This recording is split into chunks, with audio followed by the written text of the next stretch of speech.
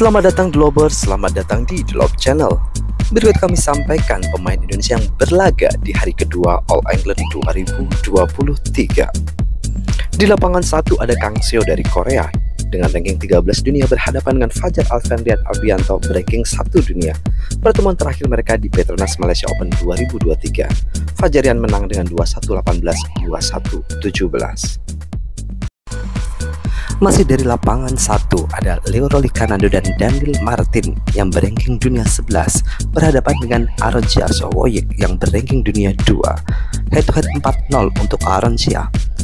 Pertemuan terakhir Daihatsu Indonesia Master 2022.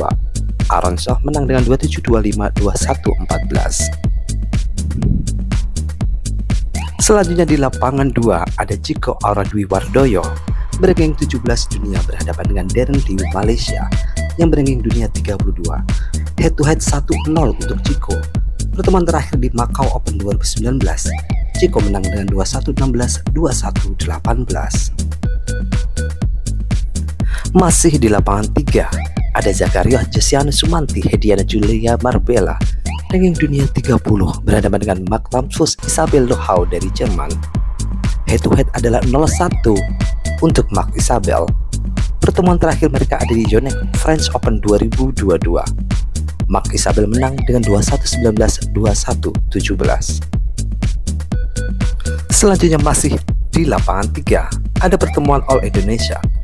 Pramudia Kusmawardana dan Jeremia Rambitan yang berranking dunia 20 bertemu dengan Asan Hendra berranking dunia 3. Head to head adalah 3-0 untuk Asan Hendra.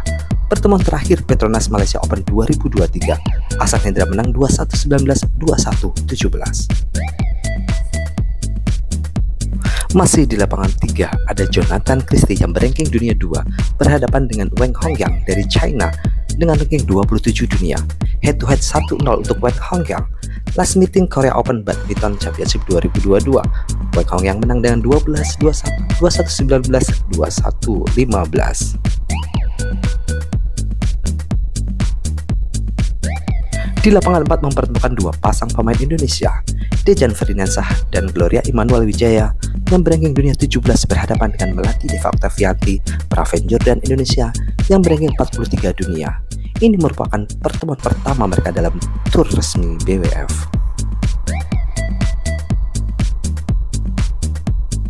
Terakhir di lapangan 4, ada Apriani Rahayu Siti Fadia dari Indonesia berangking dunia 5 berhadapan dengan Jacqueline 5, Samia 5 dari Brazil yang berenging dunia 43. Dan ini merupakan pertemuan pertama mereka di turnamen BWF.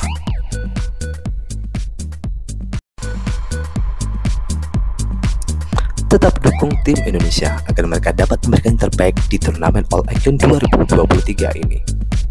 Terima kasih sudah menyaksikan video ini. Bantu kami untuk like, komen, dan subscribe-nya agar kami menjadi jauh lebih baik.